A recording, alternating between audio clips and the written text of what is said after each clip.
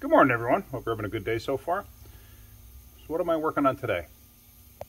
See the Sierra behind me? That's my truck. Uh, it's not my personal truck. I actually purchased it to flip it. Um, needed quite a bit of work, and I knew that.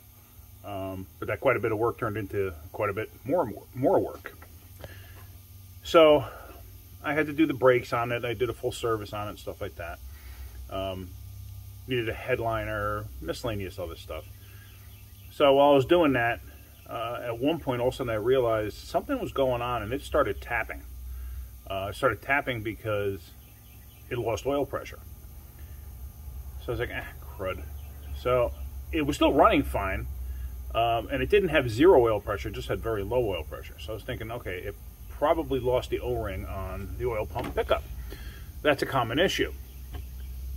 I had another 5.3 complete, and it ran fine. Um, had actually a little bit, this thing has 240,000 miles on it. The motor I had had 200,000 on it, but it ran fine. So I figured, all right, you know what? Instead of me fixing this, I could swap motors out quick and easy. So I did that. No big deal. All of a sudden, I ran into a problem with the transfer case. The dang, dang thing got stuck in auto four-wheel drive. Would not come out. All right, I went underneath. I thought maybe the motor was no good. I got another motor. I took the old motor off, and the selector shaft, I could rotate it, but it would jam, it would all of a sudden spring back into auto four-wheel drive. So I'm like, what the heck is going on here? So I was messing with the mess. I could not get the thing to come out of auto four-wheel drive. It was staying in the same position. All right. Like I said, I, you could actually put a put a wrench on there and actually turn the shaft. And I was hoping it would turn and like click over into the next segment. Couldn't do it. Just wouldn't do it. It kept on springing back. Like something's obviously wrong here. Let me get another transfer case. I didn't pay all that much attention to it, but I knew I had a fluid leak coming from somewhere too on the transfer case. I was going to clean it down and take a good look at it, see if I can't figure it out. But then I was like, you know what? I got this Suburban right behind me, which is junk. Uh, the body's pretty trashed on it. It doesn't look bad when you first look at it, but you know, it, it's black. Uh, this thing's got a ton of mileage on it too, but it's it's junk. You can see the doors caved in there. The interior is trashed. Uh, but anyway, so coming over here, I pulled the transfer case out last night from my Sierra here, and I happen to notice, well, first off, there's a ton of goo on the top of it. But if you look right here, let me focus in on that. See that hole? What is that? Also, coming around the side here, you see that? That's epoxy. Somebody cleaned this thing off and put epoxy on there. And if you come over here, that right there, that's another spot. There was epoxy there. I picked it off. There's a hole there also. So I don't know what happened if before I bought this thing, did the transfer case blow up and somebody kind of just put it back together? And I, I don't know what happened. Somebody obviously epoxied it. But what?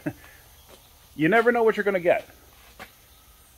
Luckily, you know, since I have this junkyard here that I work at, you know, I get to pick my parts when I need them, if we have them, obviously. And I get very good deals on them because it's stuff that we have. A lot of stuff, like this transfer case, unless he sold it, this truck would have probably gotten crushed. So uh, I'm going to pull the transfer case out. I'm actually going to swap transfer cases because this Suburban still runs and drives. So I figure instead of making it disabled, at least have it running and driving. I got the battery on charge now, so it was sitting so long the battery was dead. Um, but yeah, it'll run and drive. So what I'm going to do today is I'm actually going to swap that transfer case from that into my truck. I'm going to have to stop at the parts store and get some gaskets because I don't know if you guys are aware of it. At the end here, where it bolts to the tranny, there's a gasket up in here. These are not terrible to pull out. I know some people would reuse the gasket. I'm not going to. I'm selling this truck, so I want to, you know, make sure it's right. Uh, let's see, what anything else? I don't think so. So let me get that Suburban up in the air and let me get that transfer case out. There's any, anything interesting I need to point to, I'm gonna, I'll show you. Uh, oh, one other thing too is on this, the uh, torsion bar mounts in the back are actually broken. It's a common problem on these, and I'm gonna have to replace those. Those right there. See how squashed down that is? You can actually see the gap on the top right there. And this one on this side, uh, the, I believe the bushing let go, like the sleeve inside. So I'm gonna have to change these. These are actually, these brackets are riveted in place. The new ones come with bolts. So I'm gonna make a separate video and I'm gonna show you how to do that. Look at this, this thing was sitting so long too. Look at the dirt dauber nest on there. All right, let me get going on this. Let me get that transfer case out. Like I said, if anything of interest comes along, I'll point it out to you. We're up in the air with the uh, Suburban. Let me just show you real quick. See that? The cats are missing. We are. We actually did that. We cut the cats out of it, uh, only for uh, so we could scrap them. But anyway, here is the transfer case that I'm going to be taking out. This one actually looks pretty darn good. You know, it's relatively clean considering the mileage and everything else. So you got to get all of these nuts off here that hold the transfer case itself to the transmission. And here's the gasket in between. I'm going to have to change that. Uh, let's see. So, yeah, you got to take this cross member out. You Actually, technically, you don't have to take this cross member out, but it makes your life a whole lot easier if you just take it out. It's, you know, you got the, the skid plate here. You got these couple of little bolts, and you have these gigantic four bolts that go through, uh, bolts and nuts. So you got two nuts on this side, because this is a flex fuel vehicle. This is part of the flex fuel system. So you got to take this off. There's nuts on the other side of that. And then you got the two tranny mount bolts or nuts, whatever they have, nuts on this. Uh, got to get all that out. Got to get the front drive shaft out. And if you look, you can actually see that mark right there. What the heck is that? Oh, look. O2 sensor rubbing through. So that probably created running problems. But uh, yeah, you don't have to worry about shift linkage or anything like that. You just got to worry about some wiring and brackets and stuff like that. Got to take the rear drive shaft out. Front drive shaft I'm going to take out and just leave out. Um, but yeah, so let's keep going. Like I said, really nothing spectacular. So let me get this out. Ran into my first big problem. Got the rear drive shaft out, no problem. Come to the front drive shaft. Took the straps out for the universal joint. Went to go break it free. And check this out. Let me get my pry bar in there. Hold on. Do you see how the whole, see how the engine's moving? And I'm trying to pry this thing back and it keeps springing back. Somebody at one point ripped the boot where the drive shaft is supposed to telescope inside the transfer case and they didn't fix it and it rusted. So now the drive shaft is seized into the transfer case. I could probably get it out once I get the transfer case out what I'm going to wind up having to do is take the transfer case out with the shaft. I'll probably leave it hanging in there and then hit this end with an air hammer to drive it out. I got it soaking right now with some PB Blaster. I'm going to keep hitting it up. Uh, but anyway, I started taking the uh, cross member bolts out there. I got the nuts out for the mount. So I'm going to drain the fluid that's in there and I'm going to let this down.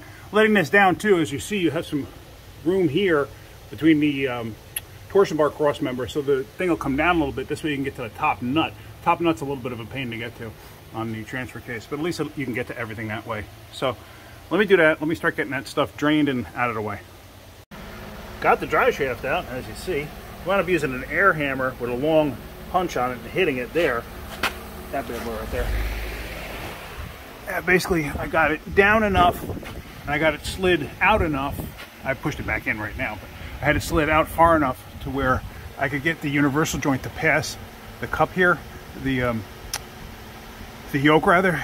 So this way, once it passed that, I pushed the transfer case back up in place so it was bottomed out on the tranny. And basically from this end, I just used the air hammer and hit it this way and brap and it came it came out. It really it wasn't stuck in there severely, but trying to just do it with a pry bar, just couldn't do it. So now, basically, the transfer case is ready to come out. I'm going to, uh, it, it, once you, oh, that, that's one, one thing I forgot to tell you. Once you crack it free, in here, you can see there's a little bit of a drip right there. But once you crack it free, once you get all the nuts out and you start to separate it, you're going to get a pouring of fluid coming out of there. Uh, so make sure you have a bucket or something underneath it. Uh, basically because you're getting a lot of fluid from the transmission that sits up in here and it'll just pour out. You could get a good quart, maybe two, that comes out.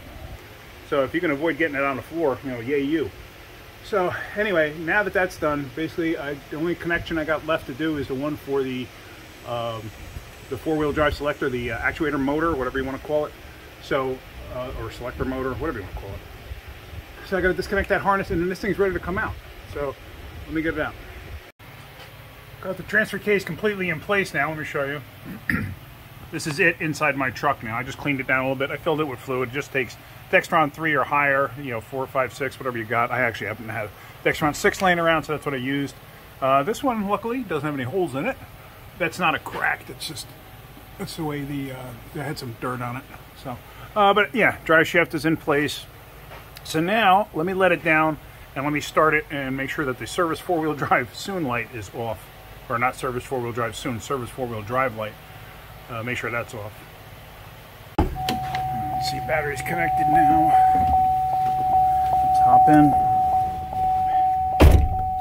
I still have everything just hanging because originally I thought it was a switch that was no good because that's a common failure on these. So, and for the code it was setting, I thought it was just a switch. So let me see. Uh, yeah, now where the odometer would light up, it will come up and say service four-wheel drive. Uh, change engine oil. Fuel level low and all about that. All right, let's see what happens. Shut that off.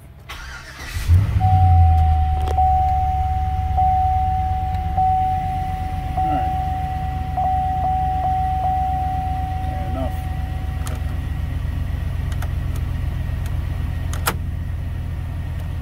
Nope. Actually, not doing anything. Why is that? I might have codes in it. Let me look into that real quick. So here we go. We got the scanner hooked up down on transfer case here. And let's just see. Display codes. Current codes. Transfer case lock circuit fault. What the heck does that even mean? transfer case shift. I was researching that code, and basically it's talking about a lock circuit in the encoder motor, basically. It, it's very vague in the way it describes it. It keeps talking about checking the lock solenoid circuit. But meanwhile, there's really no lock solenoid other than the encoder motor. It doesn't specify any of that. So it kind of leads you in like a loop-de-loop. -loop. So anyway, I started checking into it, and I started looking at wiring diagrams, and I saw, you know, okay, I found, you know, this wire on the encoder motor needs to have battery pot battery positive power uh, all the time or with the key on and blah, blah, blah, blah. So I go underneath and I start checking because I want to just check my powers and grounds first. And this is what I came across. Now when I'm under here, oh, let me turn the light on. So here's the connector here, the main connector from the body. And the second pin here, this one right there, it's the orange wire that's supposed to have power right now with the key on. Now, here's my power probe. Now, had it had power, when I probed it like this, it should light up something or even do this. Because I have it set uh, for audio uh, to be audible. So now, I'm like, okay, I got no power there. So I went under the hood. Obviously, I checked the fuses. I did that first, actually. I checked where the fuses were, and I checked where the fuse was coming out. I wanted to check to make sure that I actually had power coming out.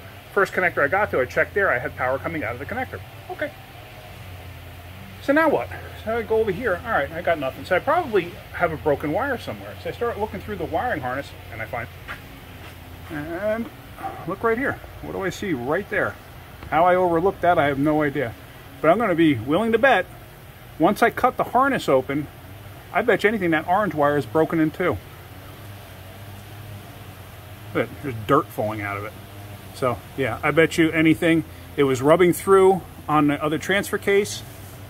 Sorry, it was rubbing through on the other transfer case and it got water and everything else in there. Look at that, all that dirt just falling out of that. And it's basically corroded and broken. So let me get this opened up and I'll show you what I got. Look at that mess. And sure enough,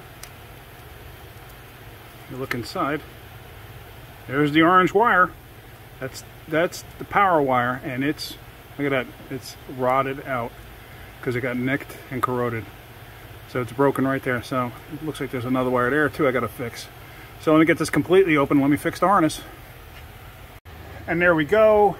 I cut out the broken ends, the little corroded pieces at the end. There's only two wires, luckily, that little brownish colored and that orange wire. So there's my unshielded butt connectors and now I'm to just put the heat shrink on it. This is that uh, heat shrink with the glue in it. So now I'm just to heat shrink those in place and we are going to plug it back in and see how we make out. There we go. That's all together now. So now when I go to test this,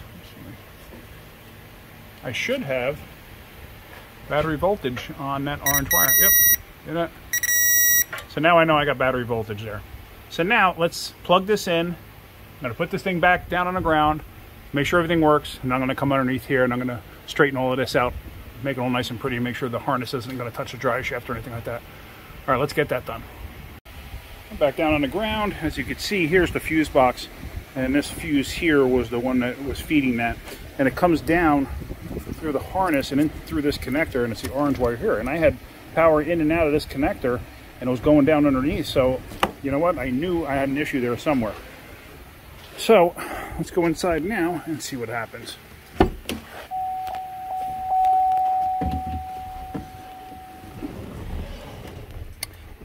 All right, so let's turn this off. And that should all be because I had it disconnected. Let's see, let's clear codes. Hopefully everything works. We're about to find out.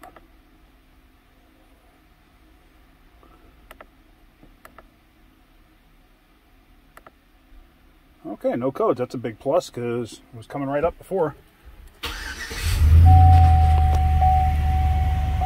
Lighting up on there. Oh, it's more than it was doing before. Yep. Okay, it works now.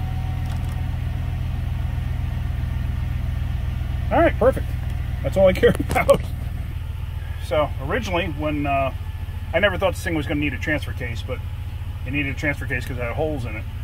Um, you know, I kind of figured it was either an encoder motor issue or a wiring issue initially, you know, when I actually realized that I could not manually get the transfer case out of auto four-wheel drive, I was like, something's definitely going on here. Something's broken or whatever. And obviously, it's been broken. And somebody tried to patch it up. Luckily, I had another transfer case. So, that's it. I hope you got something out of that. Uh, if you did, hit that like button. If you could, please subscribe. All right, guys, have a great day. Keep wrenching.